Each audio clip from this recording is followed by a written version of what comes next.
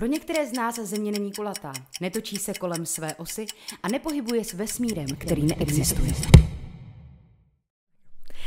Rostoucí skupina lidí tvrdí, že jsme odmala programováni k tomu, abychom věřili lžím. Dnes je tady se mnou Radka Svobodová, a která nevážila krátkou cestu. Já vám za to moc děkuju, že jste byla ochotná přijet sem za náma a popovídat si na téma, že věříte tomu, že země není kulatá. Děkuji za pozvání. Co pro vás byl ten aha moment, když jste si uvědomila, že jste si řekla, aha, tak ono to takhle není, země není kulatá? U mě to nebyl úplně aha moment, bylo to mhm. hodně pozvolné, tady ta moje cesta, eh, protože já jsem na tu, eh, tuhle teorii o ploché zemi narazila úplně náhodou, když jsem hledala něco úplně jiného a vyskočilo na mě video, kde nějaký mladý youtuber dělal rozhovor eh, právě s nějakým člověkem, který věřil, že země je plochá.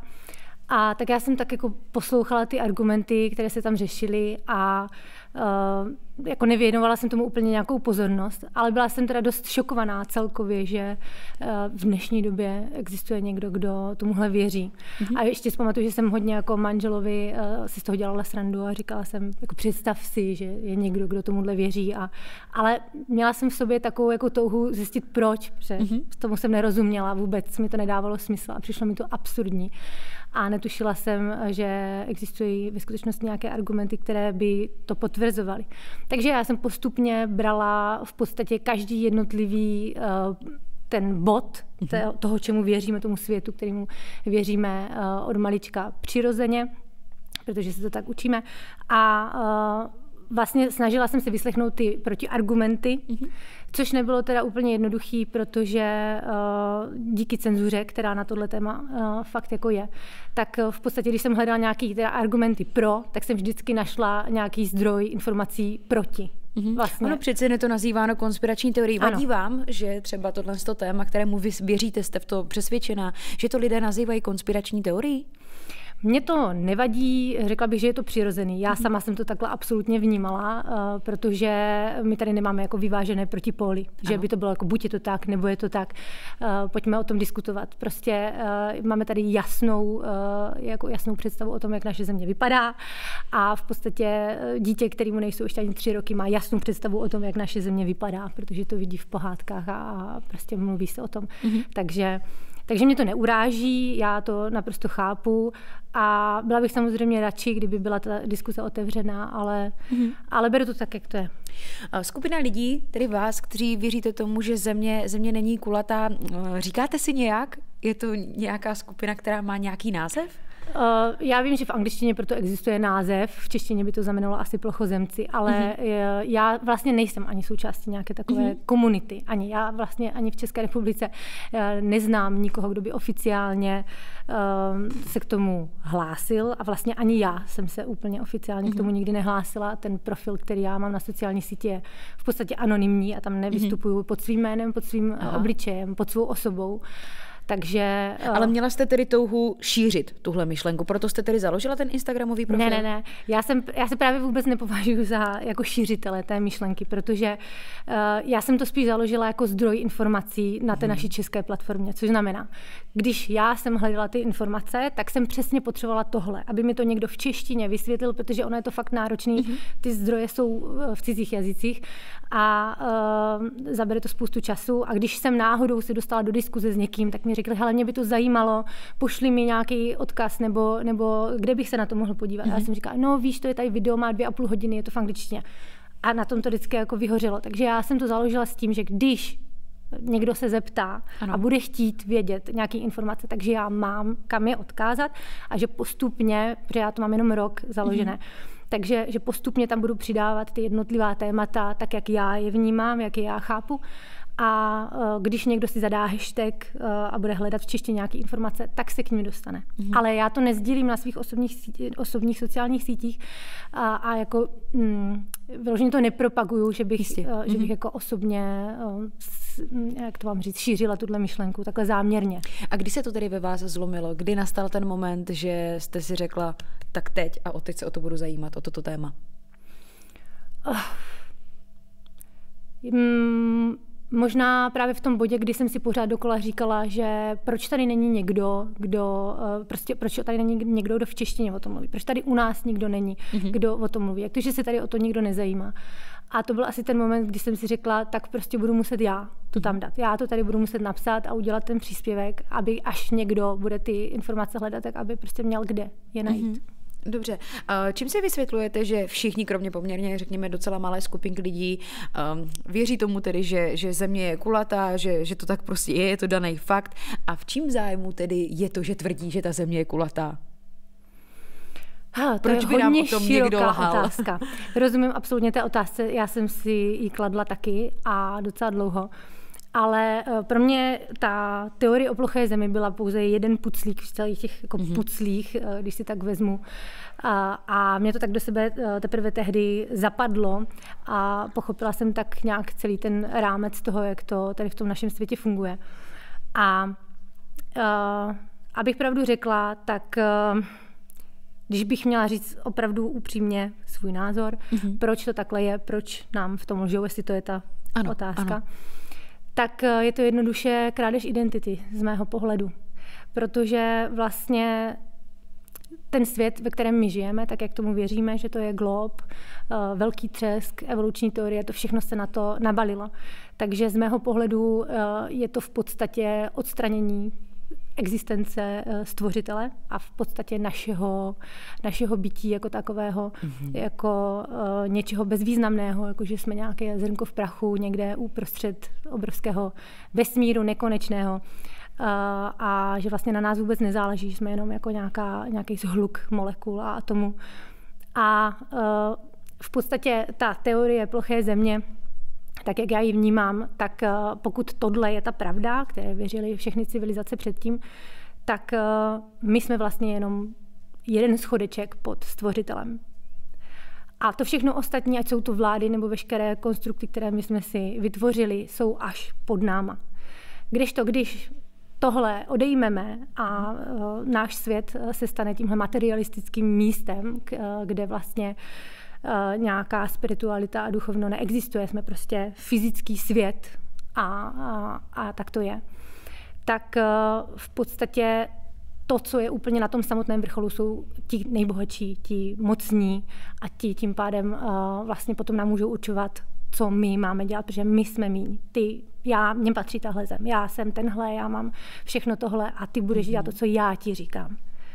Takže... A jak si tedy ale potom vysvětlujete třeba řekněme, mm, to, že lidé letají do vesmíru, a takže všechno tohle podle vás vytváří někdo, kdo je nad námi? Ano. Ale co ty, ty svědectví všech těch astronautů, to, že máme přeci jen ty fotky z těch družic a to je obrovské téma. A... To si vůbec, já si, já si neumím si opravdu mm-hmm. tohle to vlastně představit, připustit si, že by někdo byl schopen toho, že by udělal až takhle celosvětovou obrovskou věc, jenom proto, aby nás ovládal?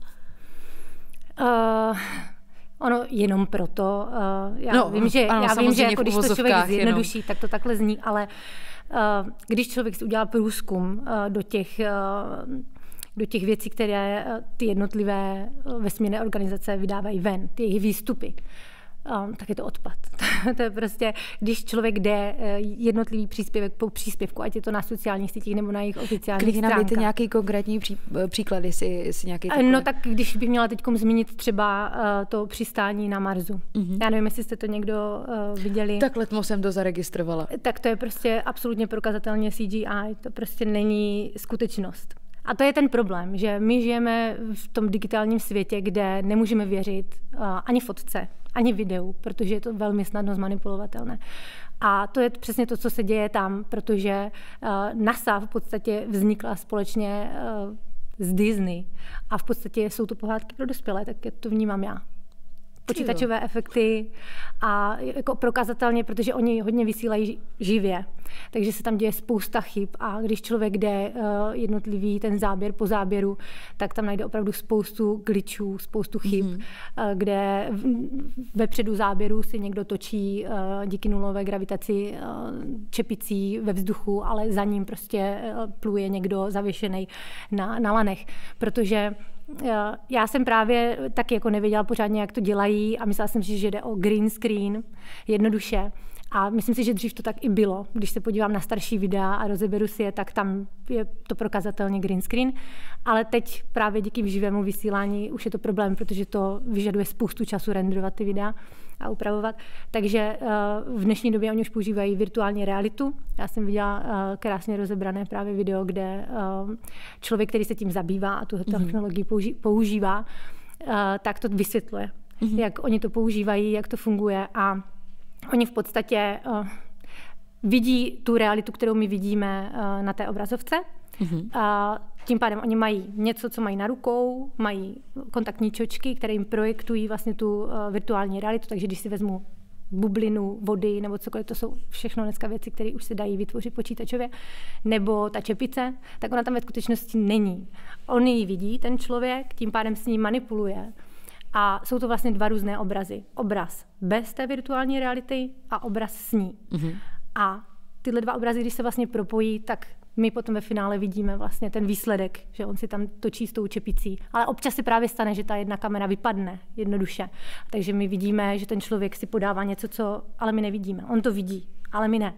Jo, takže oni si mezi sebou podávají věci, které neexistují a nebo prostě uh, najednou se úplně ztratí uh, v tom, nebo se jim něco eh, tady zapíchne do krku a prostě nefunguje ta technologie úplně stoprocentně. A to jsou ty momenty, kdy si člověk řekne, počka, to nemyslí vážně. Ono přeci jen, když si člověk trošku zajímá o to téma, snaží se najít ty důvody, proč věříte, že, že země není kulatá, tak těch důvodů je spoustu. Je některý, který vyloženě vás přesvědčil, který je pro vás do očí bíjící, že tedy země je plochá? Myslím si, že to ne, jako kdybych měla říct jeden konkrétní příklad, který by přesvědčil teď diváka, že země je plochá, myslím si, že to neexistuje, protože um, asi kdyby bylo, tak se nemáme o čem bavit. Jo, jo, ale... jo, jo jako nemůžu říct teď jednu věc, eh, která by jako 100% člověka přesvědčila, to určitě ne. Fakt je to celá změna těch věcí a když si v podstatě člověk začne klást ty otázky, mm-hmm. jako když jsme byli děti mm-hmm. a učili jsme se ve škole, že země je glob a teď si dovolím teda ptát se zpátky na všechny ty věci, které jsem se učila, brala jsem je vlastně jako dítě úplně prostě nekriticky jako samozřejmost.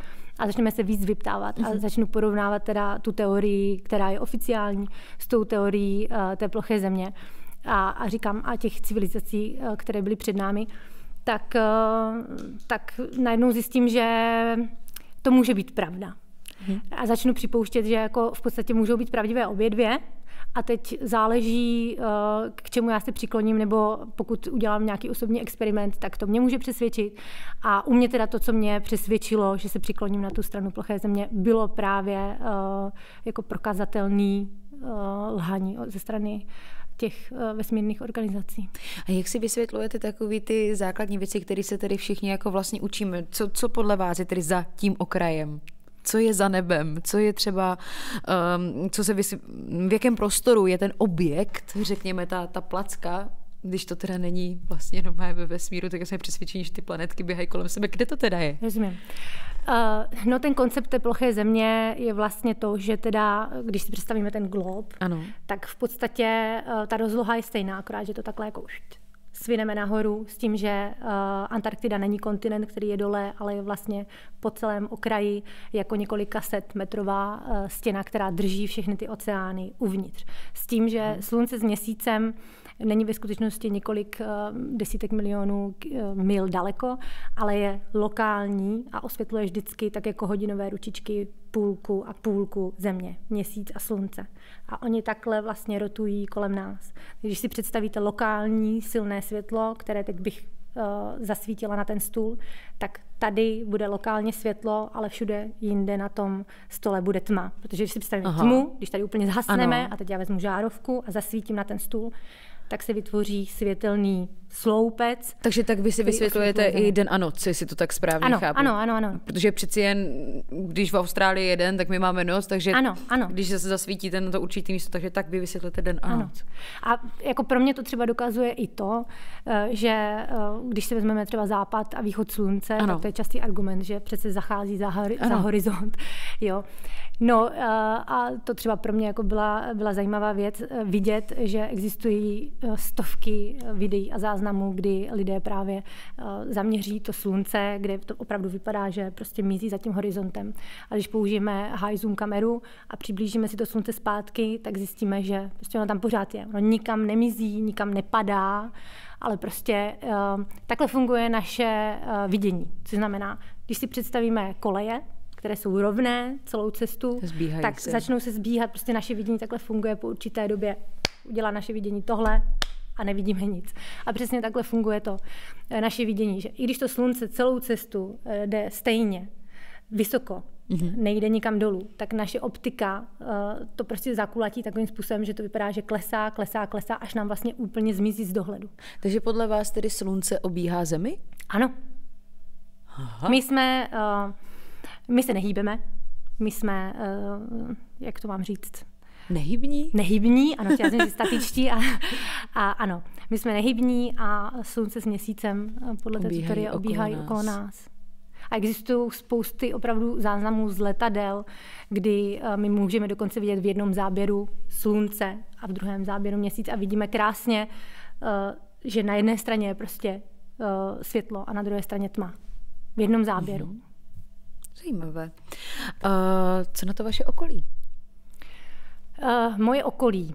Já to nehlásám. Jak jsem říkala, nejsem jako šířitel té myšlenky ve smyslu, že bych chodila, hele, představ si, že prostě země je plochá, jo? všechno byla lež. Ne, ne, ne, takhle já to nedělám.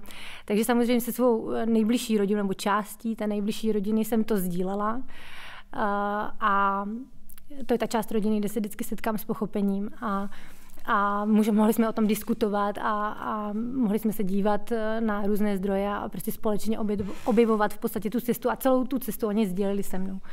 Takže to bylo super. A i co se týče mých třeba známých nebo kamarádů, tak když na to přijde řeč, eh, tak eh, záleží, jak to vnímám, jak moc se cítím bezpečně, si můžu do toho zabřednout nebo nemůžu, záleží s kým mluvím. Ale nejsem ten typ, který by jako někoho přesvědčoval nebo, nebo, nebo tak. Spíš to vnímám, že když je na to člověk připravený a chce hledat ty odpovědi, mm-hmm. tak tak uh, je to takhle v pořádku, ale nechci jako to nikomu vnucovat. Se tady nabízí otázka, nemáte trochu strach po dnešku, přeci jen ten, ten rozhovor bude veřejný, uveřejnila jste svoji tvář, svůj názor, postoj, víru v něco nového, nebojíte se lidi přeci jen umí být v dnešní době docela zlý? Nemůžu říct, že bych se toho bála, já s tím počítám, ale já jsem eh, trošku doufala, že to bude podcast. a říkala jsem si, klidně bych mluvila jako hodiny o tom tématu, protože mě to jako baví a zajímá mě to. Ale uh, v tu chvíli, kdy jsem se teda zvěděla, že to bude video a že teda bude tady vidět můj obličej, tak um, je to trošku nepříjemný, protože s tím počítám, s tou kritikou a a, ale nemůžu říct, že bych se toho bála. Asi to k tomu patří. Asi to tak jako beru, že, že ty lidi chápu, protože mm-hmm. já jsem to vlastně vnímala úplně stejně. Jedna manek, já jsem se smála uvnitř, opravdu. A trvalo vám dlouho, než jste se nechala přesvědčit těmi informacemi, které k vám přicházely? Asi rok. Asi rok? Tak Asi rok, to je docela dlouhá jsem to doba. Nebylo to jako ze dne na den, že bych se podívala na jednu věc a říkala si, jo, prostě lžou, jo, a jako vymýšlela nějaký konspirace. Ono je spousta teorií, když jste třeba říkala tu otázku, jako co je zatím, ano. tak jsme se ještě k tomu neustále se omlouvám. Tak eh, co je za tou zdí, my nevíme. Oni jako byli lidi, kteří eh, dělali nějaké expedice předtím, eh, než vlastně všechny země světa podepsali smlouvu, že od teď na Antarktidu nikdo nesmí a prostě je to chráněná oblast a chrání to tam vojsko. Takže uh, oni se tam dostanou, když někdo řekne, chceme tady natáčet, tak oni řeknou, dobře, ale jenom odsud, podsud, tady přijdete, řeknete, tohle je prostě Antarktida ano. a zase odjdete pryč. Ale že by jako někdo nezávisle uh, mohl to, jako si člověk dočte na internetu, že takové lidi se zatýkají. Mm-hmm. Takže uh, není možné uh, to zkoumat. Nicméně třeba bylo pro mě zajímavé, že jsem objevila uh, záznam z encyklopedie z roku 1953, tuším, mm-hmm Eh, kde v té encyklopedii bylo právě popsáno, eh, že lety tímto směrem eh, budou bezvýznamné vzhledem ke klenbě, která byla popisovaná jako 13 000 stop vysoká, přes kterou prostě nelze projít. Takže já si to vysvětluju tak, že opravdu nad námi je klenba a třeba například eh, ve starém zákoně v Genesis je napsáno eh, právě, že byla vytvořena nebeská klenba, která měla rozdělovat vody pod oblohou a mhm. vody nad oblohou. což je taky zajímavý fakt, který, o kterém se moc nemluví, že vlastně nad náma tím pádem, nejenom, že se nedá letět do vesmíru a vesmír tím pádem neexistuje, ale nad námi je tekutina, je tam pravděpodobně voda. Mm-hmm. A dokazují to například hvězdy. To mám pochopit jak? Když pozorujeme hvězdy uh, teleskopem, tak to, co my můžeme vidět, není v žádném případě objekt, uh, nějaká žhavá koule nebo slunce vzdálené několik světelných let nebo milionů světelných let, mm-hmm. tak jak vidíme v učebnicích, nebo uh, zrovna nedávno jsem se dívala na uh, Instagram NASA, kde byl obrázek hvězd, a uh, tak jako mě to přišlo zajímavé, protože když uh, si najdete reálný záběr hvězd, tak uh, ty hvězdy vůbec nevypadají jako objekty, oni vypadají jako tekutina, prostě kulatá tekutina, která, v podstatě, když bych to tak řekla, tak když byste se podívala takhle do té skleničky mm-hmm. a e, nějakou frekvencí byste stimulovala tu vodu, aby se tak jako vibrovala, tak přesně takhle vypadá hvězda. A když ji přiblížíte opravdu hodně, tak někdy je to dokonce i takhle jako celý kruh. Hraje to různě barvami, tam spousta barev a opravdu to takhle jako pulzuje ta hvězda. A uh, za mě to potvrzuje tu teorii, že nad námi je voda. Právě proto, protože existují například experimenty, uh, kterým se říká uh, sonoluminescence, mm-hmm. což je efekt, kdy uh, ve sklenici vody, když máme bublinu a tu bublinu budeme stimulovat nějakou určitou frekvencí, tak uh, ona se začne takovým způsobem rozpínat a tak se rozehřeje, že vybuchne a vznikne světlo. V podstatě levitující světl, mm-hmm. hvězda uprostřed té tekutiny. Takže to je první důkaz, že opravdu spojením frekvence a, a vody může vzniknout světlo. A um, taky mi přišlo zajímavé, že právě každá ta jednotlivá frekvence dokáže vytvořit jinou barvu mm-hmm. té hvězdy, toho světla což znamená, uh, oni vytvořili, díky tady tomuhle pokusu, vytvořili celou, celé spektrum barev a popsané, uh, která barva, která frekvence. A to mi přišlo nesmírně zajímavé, protože když jsem si hledala uh, oficiální informace o tom, o hvězdách, jaké informace o nich máme, tak uh, jako ta většinová, nebo ta vědecká společnost vysvětluje barevnost hvězd uh, teplotou ne frekvencí, jako zvukem, ale jedno, prostě sku, jako skutečně teplotou, což znamená, pro ně každá ta barva má určitou teplotu a oni si představují, že ta hvězda těch eh, x tisíc milionů světelných let, prostě oni vědí, že ona uvnitř svého jádra má určitý počet tisíců uh, stupňů Celzia. Takže to mně přijde teda jako neskutečné. A uh, je zajímavé potom třeba zkoumat právě tu kosmologii jako takovou, která je právě například ve starém zákoně, protože tam je popsaná ta, ta kosmologie ploché země. Mm-hmm. Já jsem to nevěděla, ale když jsem to začala zkoumat, jsem zjistila, že i tam to je. A je tam právě uh, zajímavá pasáž, která vyloženě mluví o tom, že hvězdy zpívají. Hvězdy zpívají. to je i pro mě novinka, vidíte. Že všechny hvězdy zpívají. A zpívají Bohu.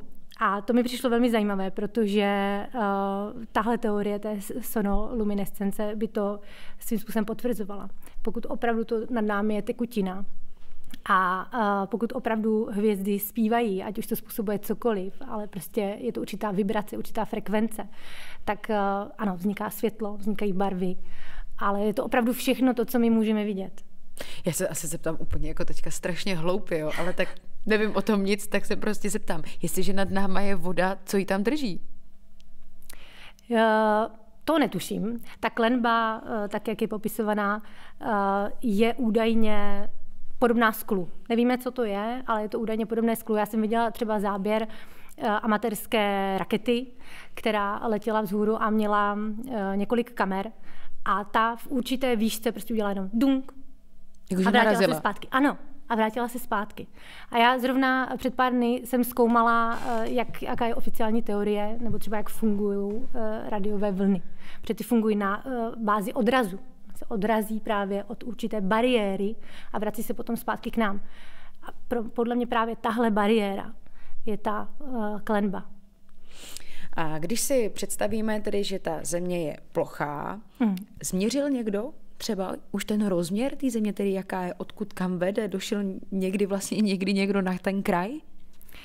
No, určitě ano. Jak říkám, třeba ten badatel, eh, který uh, zkoumal Antarktidu, Edmund Bird mm-hmm. se mhm. jmenuje, tuším, admirál Edmund Bird, tak uh, ten uh, zkoumal Antarktidu a vlastně byl na tom samotném konci. A je zajímavé, že ten třeba tvrdí, uh, že tam objevili další kontinenty velikosti Ameriky. Takže uh, to jsou taky teorie, že zatím jsou ještě další země, další zdroje. On mluvil o... Takže jenom, aby jsme to ujasnili, vy tedy tvrdíte, že je severní pol, takhle nějak kolem jsou ty ostatní světadíly, které všichni známe, a takhle ano. tedy je jižní pol. A za ním je teda ještě možná něco. Já věřím, že nad námi je ta klenba. Tohle tvrdil ten, eh, ten admirál. Aha. Uh, Tohle vnímám už já jako konspiraci, protože říkám, potom byly podepsa, byla podepsaná smlouva, že prostě uh, tam se nesmí a potom podnikali právě ano. různé uh, vláda americká i ruská podnikala různé uh, experimenty, jako třeba, že posílali uh, do vzduchu uh, nukleární bomby. Mm-hmm. A to je taky zajímavé, protože ten záběr třeba najdete na YouTube, kde um, je v podstatě vidět, že ta bomba do něčeho narazí a vytvoří se takový prstenec vlastně okolo toho. Takže z mého pohledu, tak jak to vnímám já, i když samozřejmě je to konspirace a je to, je to moje domněnka, je, že oni uh, prostě jednoduše testovali nejenom No přijde mi trošku jako hloupý, kdyby testovali, co to vydrží, protože se by to prasklo, že? Ale eh, spíš si myslím, že chtěli vědět, jak je to vysoko, že potřebovali zmapovat. A zjistili to? Je někde uvedeno přímo, kde tedy, řekněme, nějaká ta pomyslná kopule? No já si myslím, že to bude odpovídat právě, jak máme troposféru, stratosféru, mezosféru, ano. takže já si myslím, že to bude eh, v podstatě ne víc než 100 kilometrů nad náma. Mm-hmm. Není tak daleko. Není. A v podstatě, když vezmete jako záběry z heliových balónů, které mhm. opravdu dokáží vystoupat až, až nahoru, tak najednou prostě vidíte uh, tu plochu a slunce, které je velmi, velmi blízko. Mhm. Já jsem viděla na Netflixu dokument, kde tedy hovořili o, o tom, že země, země je plochá, mluvili tam s tím člověkem a mluvili tam o mezinárodním kongresu, který byl v Severní Karolíně. Mm-hmm. Slyšela jste o něm? Určitě předpokládám. No, asi. neslyšela popravdě. Já říkám, ne. já nejsem jako úplně uh, Já jsem se právě já tady si jste takhle až třeba angažovaná, že byste hmm. si třeba takhle zajela a zjistila a setkala se s těma dalšími lidmi, kteří se o toto téma zajímají, kteří, kteří tomu věří. Já s některými jsem v kontaktu uh, online ale eh, že bych se účastnila nějakých kongresů nebo, nebo uh, se účastnila nějakého aktivismu na ulicích nebo tak, jak to bývá, to jako takové ambice Takže skupina, skupina roste. Je vás, bych řekla, čím dál tím víc a víc. Nevím, jestli je to tím, že svět je medializovaný více, že všichni jsme více na síti, všichni jsme víc online, tak se o tom více lidí dozvídá, nebo čím si to vysvětlujete vy? No, eh, popravdě, co já vím, tak v roce asi mezi 2013 a 2015, co mám informace od těch, kteří začali jako první vytvářet mm-hmm. content na tohle téma, tak eh, to byl nejvyhledávanější výraz. Plochá mm-hmm. země byla nejvyhledávanější výraz eh, na Google, takže Uh, oni museli podniknout nějaké určité kroky. Já jsem viděla i rozhovor uh, s majitelem Facebooku uh, nebo s někým z YouTube, kdy vyloženě se jich na to ptali a oni vyloženě jmenovali plochou zemi jako téma, které je cenzurované, a které vnímali jako problematické. S tím, že jasně tam deklarovali, že jsou používané algoritmy, Eh, které vlastně mají posunout ten obsah až někam eh, pryč eh, s tím, že by se člověk fakt musel proklikat, aby vlastně zůstal, jako dostal relevantní informace, ale plus, a to je velmi zásadní, oni vytváří vlastní content na to téma. Mm-hmm. A ta paní to tam vyloženě řekla, že oni vytváří vlastní content, aby když to tam člověk zadá, plochá země, tak jim vyjdou jejich videa, kde vlastně oni si dozví, že to je blbost. Takže i tohle byl pro mě velký červený vykřičník, že já, když chci vyhledat video, který už jsem viděla, vím, že tam je a zadám ho do YouTube a nic mi to nenajde a musím mít na jiný vyhledávač, aby mi to vůbec našlo, to video, tak to prostě o něčem svědčí. Takže uh, určitě to vnímají tohle téma jako nebezpečné. Uh, tehdy to byl velký boom. Uh, Rozhodně je na to uvalená cenzura, videa se mažou opakovaně a spousta z nich, které já jsem si poukládala na YouTube třeba před těma dvěma lety, tak už dneska nenajdu. Takže to byl taky jeden z důvodů, proč jsem se rozhodla ty informace zhromažďovat na vlastní platformě, abych uh, o ně nepřišla jednoduše. Takže podle vás je vlastně velmi těžké najít ty reálné informace, z kterých vy můžete třeba vycházet. Ano. Na kterých si můžete ověřit, jestli to je tak či onak. Ano. Jako by ty um, argumenty, které jsou z té druhé strany. Mm-hmm. Jo, vyslechnout si vlastně tu protistranu, ty jejich argumenty, proč věří, že to tak je. Protože říkám, jako uh, jediné, co většinou člověk může najít, je, proč to tak není. To je pravda. Hmm. Je pravda, že člověk najde spoustu lidí, kteří tvrdí, že to je nesmysl, že, že to je něco velmi bizarního a spíš to velmi zesměšňují hmm. tohle téma. Řekněme, já nebudu vám tady nalhávat, že věřím, že, že země není kulatá, prostě v něčem jsem vyrostla, takže nějak člověk o tom přesvědčený je, Určitě. ale je to pro mě velmi zajímavé potkat se s někým, kdo ty argumenty má.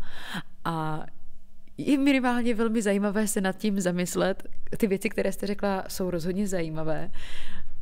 A já jsem z toho taková zaražená, popravdě. Vůbec vlastně nevím, co si o to mám myslet. ano, já se do vás dokážu cítit a, a byla jsem v téhle pozici úplně přesně taky. A já doporučuji každému, kdo se na tohle dívá, aby prostě jenom si dovolil eh, si pokládat ty otázky, které jsme si pokládali jako děti. Vrátit se zpátky na ten začátek. A, a jaké byly tedy ty vaše první otázky, které jste si vlastně pokládala? Uh, no, já jsem šla v podstatě po těch oficiálních uh, věcech, což znamená, dobře, západ slunce, tak jak to funguje, jaká je oficiální verze, proč se střídá den a noc, ano. proč se střídají roční období uh, a tak dále. Nebo uh, to, co mě taky hodně zajímalo, bylo, jak vysvětluje se uh, v podstatě obecně uh, ta věc Austrálií. Jo? To je takový jako velký téma. A já jsem se o tom bavila právě s mojí mámou a ona mi říkala, no tak prostě prostě pro ně jako, že obloha je jako dole, ale pro ně je to vlastně jako nahoře, takže oni neví, jako, že jsou vzhůru nohama, prostě to vnímají, že, že to je nahoře, a, a protože zem je dole. A já jako říkám dobře, jako dokážu pochopit, zpracovat uh, tu teorii, ale absolutně nerozumím tomu, jak to může fungovat jako v praxi. Jo, to je pro mě úplně science fiction. A uh, já chápu teorii gravitace, rozumím těm argumentům oficiálním, nicméně je to prostě něco, co v realitě absolutně jako nikdo nezažívá. A bylo by tak strašně jednoduchý, když teda NASA uh, může mapovat celou Zemi z vesmíru, kdyby prostě jednoduše zazumovala, zazumovala, uh, tak jako na Google Earth, prostě ty lidi, jak jsou z nohama, jak tam jako surfují na té pláži, prostě hlavou dolů. Protože to je vlastně to, když se podíváte na ten glob, ano. tak jako kdybych zazumovala tam, tak to je to, co bych měla vidět. Jo, takhle. To mě asi nikdy nenapadlo. Vás to někdy napadlo? jo, protože když to zadám na Google Earth a udělám tam takhle tu ťupku, tak mě to udělá prostě z toho, tohohle mě to udělá a já vidím prostě jenom rovnou plochu. Pardon, takže podle vás když si tady představíme tu, tu mapu, tak tady uprostřed je teda ten severní pól. Ten je magnetický. Jo, aha, tak ten je magnetický. Ano. A teď takhle, vlastně tady někde máme takhle Ázii a ta Austrálie je hnedka tady takhle vedle? Není teda takhle jako ze spoda? Je trošku ze spoda. Ale je to vlastně jako kdyby skoro vedle, jako jo, jo, jo, jo, jo, jo, jo. A co, kde je teda jádro? No, to se mě... To, vy mi řekněte, kde je jádro v globu, když jsme nikdy nebyli Tvrdí nám, tak že to, je někde, že to je někde přesně uprostřed. Já tomu rozumím, tomu ale absolutně nevím, jak se toho dá prokázat. Vzhledem k tomu, že jsme opravdu nikdy nebyli eh, dostatečně hluboko, abychom vůbec odhalili jako vůbec tu základní krustu. My jsme Aha. nikdy nebyli tak hluboko, takže vůbec jako to je opravdu spekulace. A když se ještě vrátíme tedy k, to, k té ploché zemi, tak uh, víte třeba alespoň, jak by měla být vysoká. My jsme se bavili o tom, co je tedy nad uh-huh. náma, co je, řekněme, po tu kopuli a co je dolů. Uh, to je tajemství v podstatě, ale mám k tomu jednu zajímavou informaci a to je, že když byly hluboké ponory, byl člověk, jehož jméno bohužel si nevzpomenu, ale um, klidně bych byla schopná dodat odkaz, protože mm-hmm. mám, mám jakoby ten záznam, kde oni udělali hluboký ponor uh, do oceánu a v podstatě našli místo, které, uh, jak to mám říct, ve vodě našli vodu. Co znamená, oni byli uprostřed uh, toho oceánu temného a teď najednou pod sebou viděli něco, co vypadalo jako jezero, mm-hmm. jako další voda, kdy ten člověk si říkal, počkat, ale já jsem ve vodě, tak co je tohle? A když se snažili, jako, že by se do toho ponořili, tak to nešlo. To bylo tak husté, že prostě je to jako, vrátilo zpátky jako na trampolíně. Aha. Takže to, co je pod tím, nám není známo. Je to, je to tajemství. Mluvili jsme o NASA, mluvili jsme o vlastně vědeckém pohledu na, na, na svět, že Země je kulatá. A je ale někdo, eh, tedy z těch lidí, kteří věří, že Země není kulatá, z té vědecké sféry? Konkrétní jména vám neřeknu, protože nemám ani na ně dostatečný mm-hmm. jako pamatovák, ale vím, že jsou konkrétní jména, jsou to vědci, eh, kteří věří, že země, no, abych pravdu řekla, tak možná nevím, jestli je někdo, kdo věří, že země není kulatá, ale vím, že existují i třeba teorie, že země nerotuje. Mm-hmm. Takže jako pořád eh, se ta, eh, se ta vědecká komunita taky rozchází v mnoha teoriích a jako vzájemně se předhání. Takže určitá procentuální část přeci jen možná věří, že opravdu země není kulatá. Takže není může to, to tak být, tabu. může to tak být, ale konkrétního člověka si nevybavuju. A za vás, tedy my už jsme to trošičku naťukli, ale kdo tedy za vás za tím levším stojí? Uh, Zprvu bych chtěla říct, že uh, si nemyslím, že ta vědecká komunita jsou nějací ilumináti, kteří nám všem lžou. Já si myslím, že oni jsou pouzí, pouhou obětí e, toho systému, úplně stejně jako my, uh-huh. kdy prostě od malička vyrůstají. E, v podstatě, když to tak vezmeme od školy, tak e, je nám daný nějaký základ té reality, ve které žijeme. A uh-huh. s tím základem my vlastně vnímáme všechno to, co vidíme. A prostě máme určitý pokřívený ten obraz. A tím pádem my jsme slepí vůči jakýmkoliv náznakům pravdy. Uh-huh a nejsme prostě schopni vidět. Vidíme to uh, pod tu optikou uh, toho heliocentrického modelu.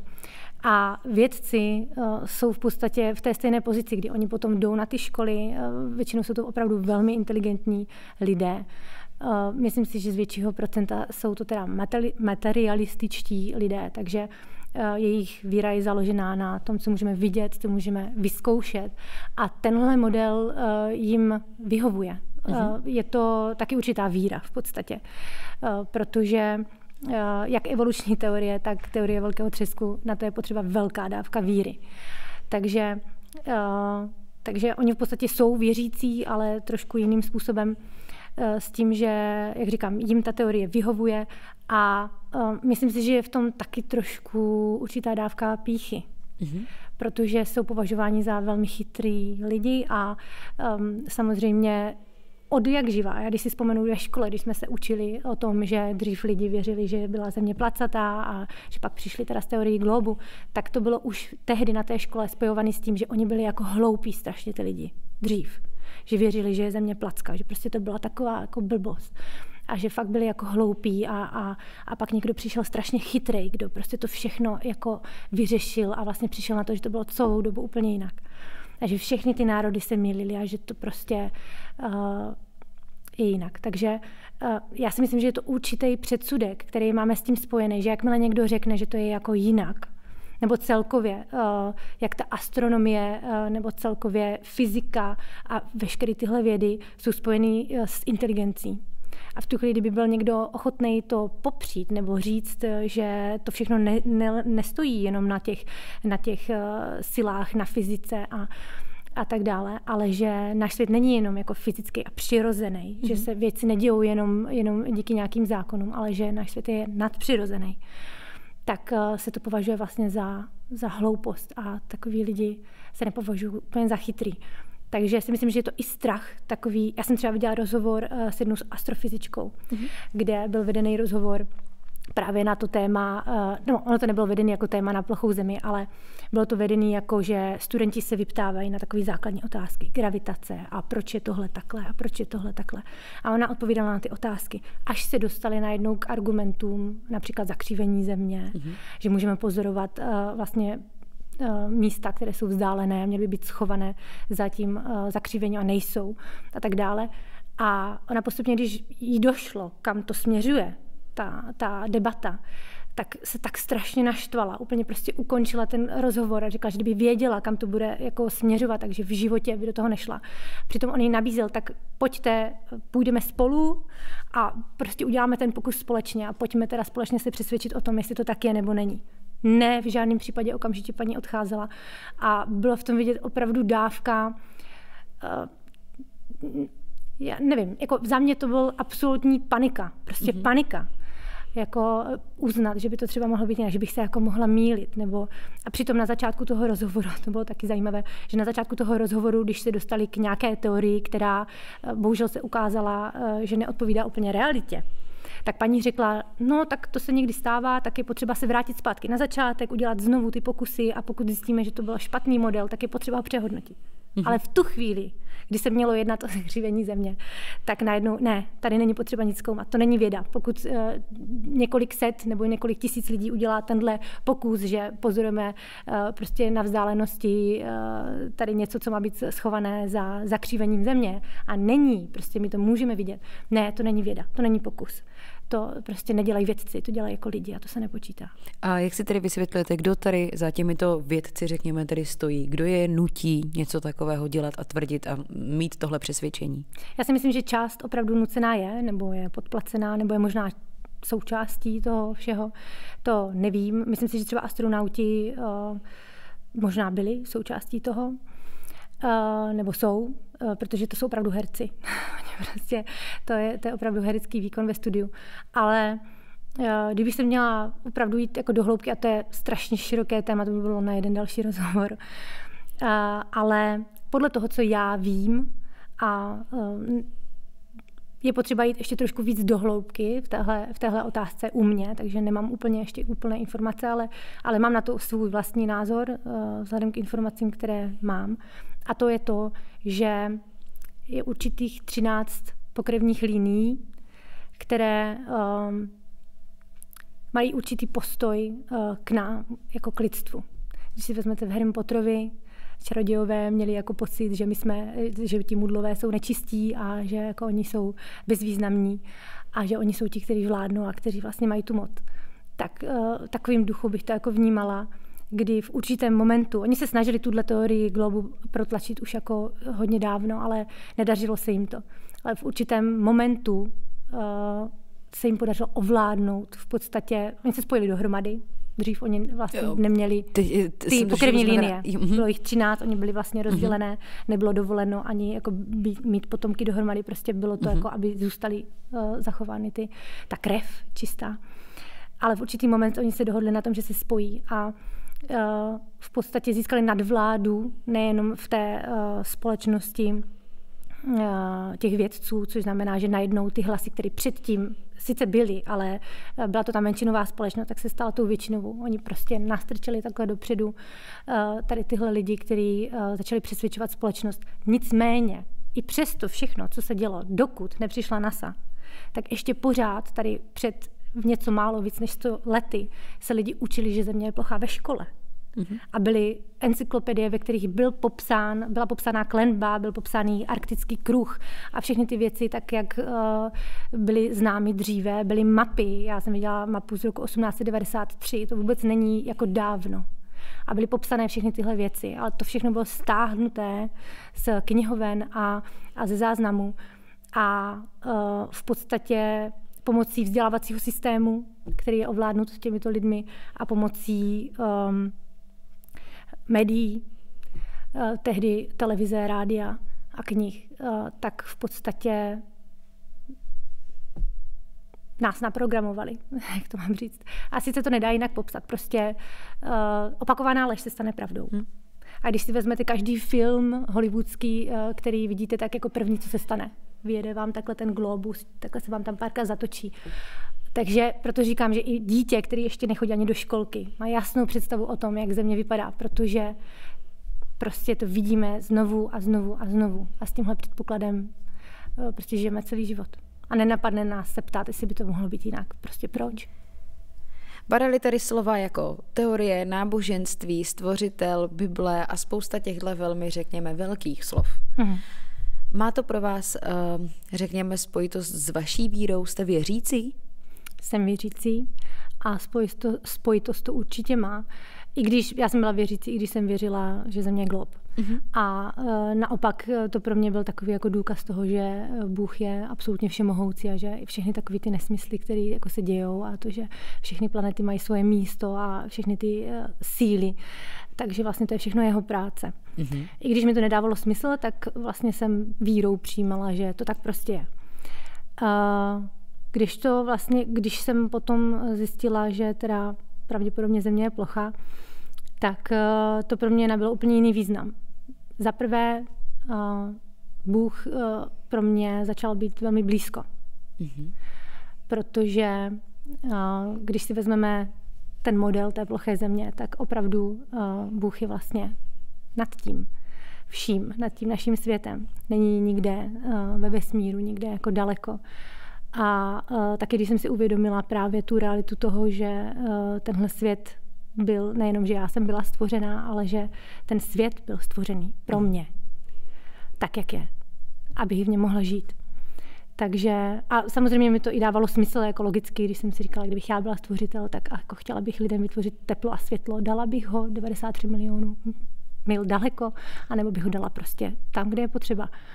Takže uh, jako nějakou logiku jsem v tom našla, ale uh, Nevím, jestli jsem odpověděla na tu otázku. Já si myslím, že určitě ano, odpověděla jste hezky. Já jsem se do vás úplně vlastně zaposlouchala. Tak úplně nevím, jestli ta další otázka, kterou vám položím, jestli to tak trochu neznehodnotí, ale určitě znáte film Truman Show, hmm. kde řekněme, tahle ta myšlenka byla takovým svým způsobem znázorněná. Jak si to vysvětlujete? Já jsem popravdě ten film viděla letos poprvé. Já jsem vůbec nevěděla, já jsem ho nikdy neviděla, nevím, jak je to možné. Máte aspoň v živé paměti. Ale mám ho v živé paměti. Právě, já jsem se na něho právě podělala z toho důvodu, že vím, že je to s tím hodně spojované, tady s tou teorií, takže jsem to sledovala opravdu bedlivě. A existují i různé jako rozbory uh, toho filmu a, uh, a tak. Takže já jsem to sledovala opravdu bedlivě a za mě, můj osobní názor je, že je to takový dokument, opravdu, že to s tím má rozhodně souvislost a je tam spousta podprahových uh, takových ukazatelů na plochou zemi. Takže za mě to tu souvislost má. A my jsme takový trumeni všichni, no. Já si myslím, že tohle je krásný závěr dnešního rozhovoru. Já vám ještě jenom moc děkuju, že jste opravdu přijela až sem za náma. Moc si toho vážím, že jste v sobě našla i tu odvahu uveřejnit svoji tvář. Doufám, že na vás nebude moc hejtrů, protože každý si zaslouží mít svůj názor a svůj postoj vůči světu. Moc vám děkuju. Já taky děkuju. Naschledanou.